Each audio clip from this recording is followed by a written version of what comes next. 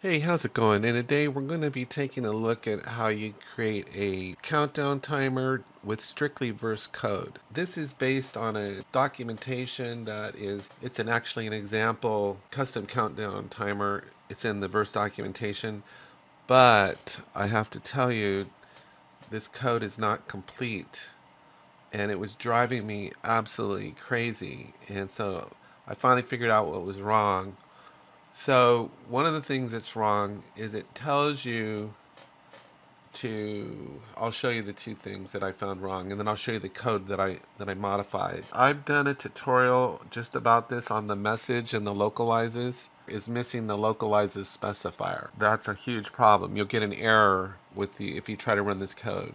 I did a tutorial explaining that you have to basically have the localizes specifier on here. So you need to put that in there. And then here, interestingly, on one of these, and it's really the key of the whole thing. The timer is, it's really important because it's the key to the whole thing. This update, these two lines is really important, and it relies on being able to get to that message type. Another problem. This, as we should know by now, this is a async function sleep. It's a time function. Anytime you use a time function, you need the suspend specifier. So this is missing the suspend specifier. So expletive deleted, you can't go off of this. It won't work.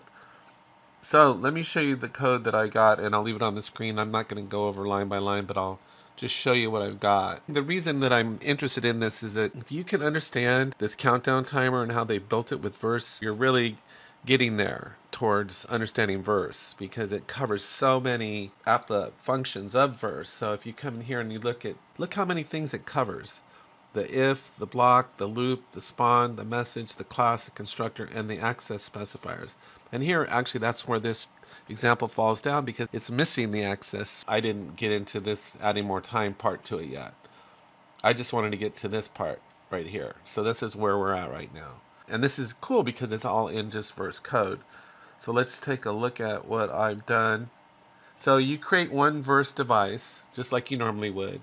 Make sure you have all your modules and namespaces. Like I said, I go overkill on this because nine times out of ten I'm I'm missing one, and it's just frustrating to have to keep typing them in.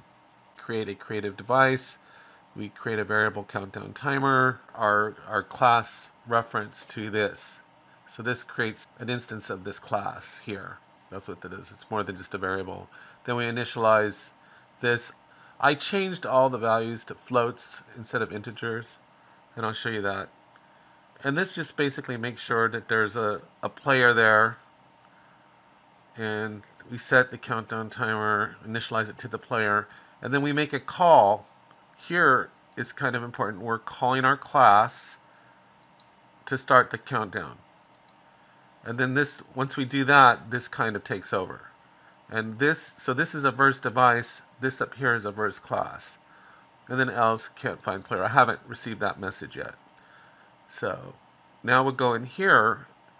This is a verse class. So when you create this, so when you go in to create a verse device, here, you'll come up here to the verse explorer and you'll right click and you'll be given an option when you create a class, you go create empty because you don't want to create a creative device and you'll just start out with a blank slate. So when I do the device, you go create here, give it a name, and then for a class, you go create empty. So there's that. Look at this code again.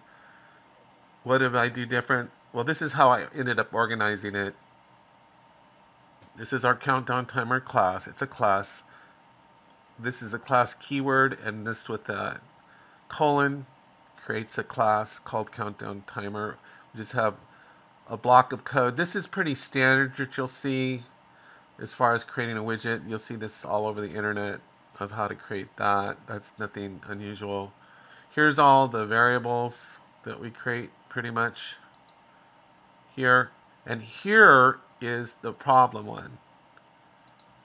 It needs to say remaining time text localize the specifier here they have it as a, they had it as an integer, but I change it to a float value. And I'll put a link to the tutorial that I did that explains this. And then you just set this times, you know, time ticker. And now in here, there's just three functions or methods. There's a start countdown. There's all this. Make sure we have a player UI here, and if so, add a widget. This is a method with inside the, I don't know if it's in this, it's in one of these. It's either Fortnite.com UI or the temporary UI. I, I think it's in the temporary UI, this, but this method here.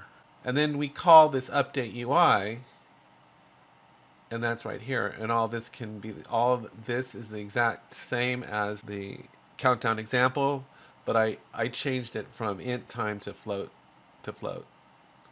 So this said int, and I changed it to float. And I don't know, I think that might be a mistake in the in the code as well, in the example as well. I'll show you that. I don't get this uppercase I. I don't know what that is. So here on the update UI, you see where it says INT and that's in capitals? I'm pretty sure this is a mistake. I don't believe that's supposed to be uppercase. I don't know what that is. Otherwise, this is a, a common type, but it's lowercase i. It's not uppercase i. So what I did in my modified code is I I just dropped it as an int because I was getting this error up here and I didn't understand that it was missing the localizes specifier. What I did on the this last this update call instead of capital I A N T, I capital I and then lowercase nt, I just changed it to a float value. So I changed it from int time to float time. But I'm pretty sure that's a mistake. I don't believe it should be an uppercase I there. So that's another thing that I changed.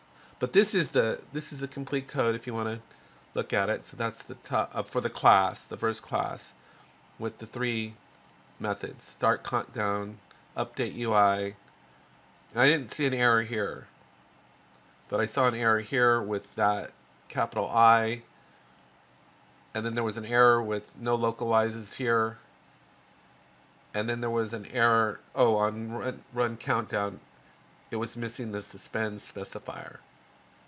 But other than that, this is exactly the same as that example. Okay, so if we come into our code here, go verse, build verse code, no errors. And then if I come over here, you'll see in, the game, and there you see there's the timer going. I'm having it print out a string too, just so I can verify what's going on.